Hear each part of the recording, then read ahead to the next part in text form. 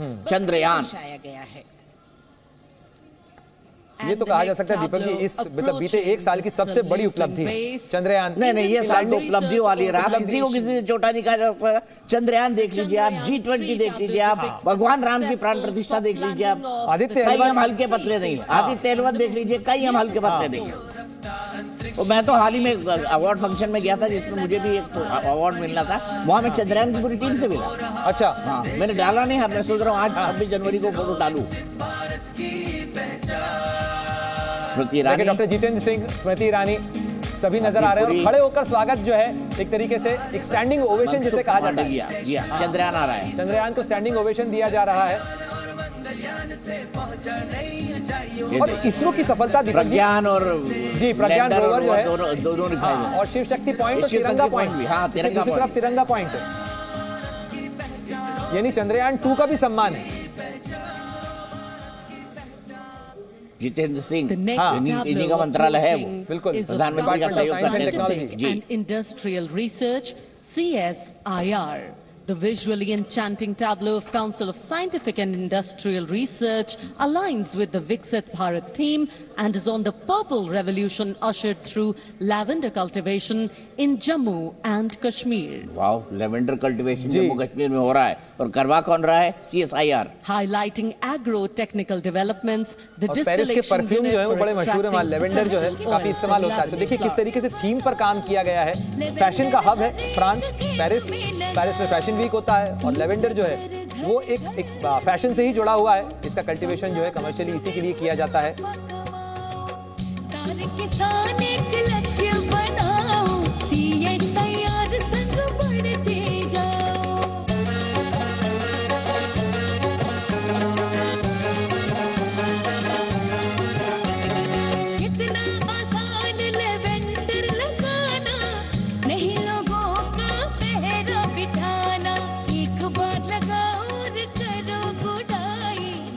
The all-women CSIR tableau showcases achievements under government's initiatives of scientific developments.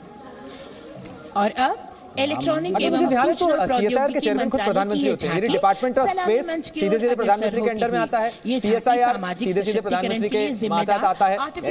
Atomic energy प्रधानमंत्री के पास आता है। जिसका देश के स्वास्थ्य सेवा, ऐसी चीज़ें प्रधानमंत्री के पास रहती हैं जो मतलब और उसमें औद्योगिकरण के साथ इंटीग्रेशन लेकिन ये देखिए दीपक जी ये तस्वीर भी बहुत महत्वपूर्ण है। ये जो झांकी है ये मेटी की झांकी है ministry of electronics information technology और सेमीकंडक्टर और हाँ सेमीकंडक्टर आर्टिफिशियल इंटेलिजेंस दो चीज़ें इस साल के हमारे लिए इस साल की हमारी उपलब्धि रही है ये कहा जाए तो गलत नहीं होगा। बिल्कुल। जिस तरह से हमने आर्टिफिशियल इंटेलिजेंस पे काम करना शुरू किया है जिस तरह से हमने 5G पर काम करना शुरू किया है और जिस तरह से हमने सेमीकंडक्टर के मैं हाल ही में वाइब्रेंट गुजरात के कवरेज के लिए दीपक जी वहाँ पे था और किस तरीके से भारत की कंपनियाँ रोबोटिक्स पे काम कर रही हैं। रोबोटिक्स का विकास भारत में बहुत तेज़ी से हो रहा है ड्रोन सिस्टम हो। रोबोटिक्स हो जिन्हें आर्टिफिशियल आर्टिफिशियल इंटेलिजेंस हो जिन्हें क्रिटिकल और इमर्जिंग टेक्नोलॉजी कहा जाता है। इमर्जिंग टेक्नोलॉजीज़ वो जिनके अंदर छह महीने के अंदर तकनीक बदल जाती है। द्वारा महिलाओं तो इस हिसाब से इसमें बहुत काम हो रहा है और भारत में डेटा जो है भारत के डेटा के लिए जंग चल रही है कि भारत का डेटा हर कोई हासिल करना चाहता है क्योंकि इतना बड़ा data sample size data collection और डेटा प्रोसेसिंग किसी के पास नहीं। इसीलिए प्रधानमंत्री इस विषय में सोच ही रहे हैं और हमारे डाटा कलेक्शन को भी बढ़ाने के लिए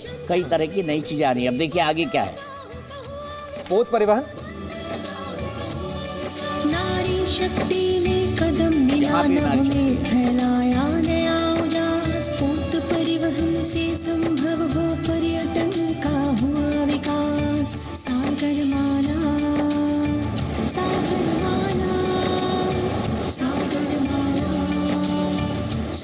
सागरमाला प्रोजेक्ट सागरमाला प्रोजेक्ट। कैसे पोत परिवहन को बढ़ाया जाएगा कैसे लिंक किया जाएगा? पानी से पूरे देश तो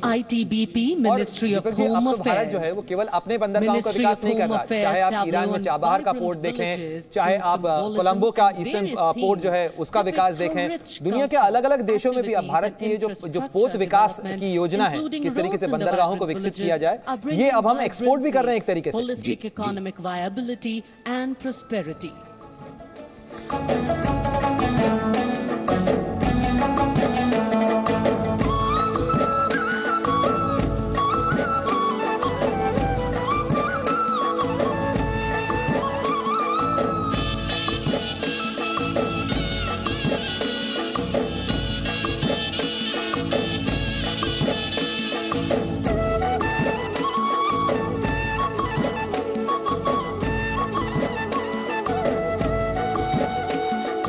Deepak ji ये भी एक बहुत महत्वपूर्ण स्कीम है। ये जो वाइब्रेंट विलेज स्कीम है ना, ये सीमा के उन गाँवों में क्योंकि सीमा से ये जो सीमावर्ती गाँव होते हैं यहाँ से पलायन शुरू हुआ। इस कारण से एक बड़ा चैलेंज हुआ. क्योंकि वहाँ अगर स्थानीय लोग रहते हैं तो वो आँख कान अपने खुले रखते हैं और वो निगरानी रखते हैं सरहद करगिल वॉर में बिल्कुल, गडरियो ने बताया। ने बताया था।